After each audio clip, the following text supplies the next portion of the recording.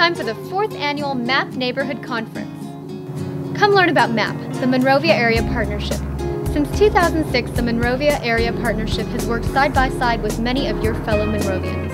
In fact, MAP and your neighbors have developed programs to help build up our community, a community that you can take pride in. You may have even seen one of the many MAP programs hard at work in your neighborhood, like MAP Neighborhood Meetings, where residents like you learn about effective problem solving, or block parties, where you have a chance not only to meet your neighbors but have fun with them too. You see, MAP is not just a city program, it's a partnership that allows us to work together for a stronger and safer community.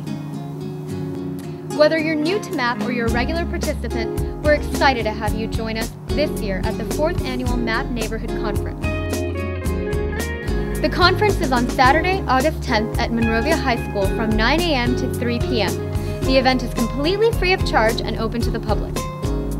At the conference, you'll enjoy free food and entertainment, an opportunity to meet people from the city departments, and interesting workshops ranging from social services and social media to disaster preparedness, the Metro Rail in Monrovia, and much, much more. So catch the Monrovia spirit from the many passionate residents just like you who are ready to make a big difference in this community.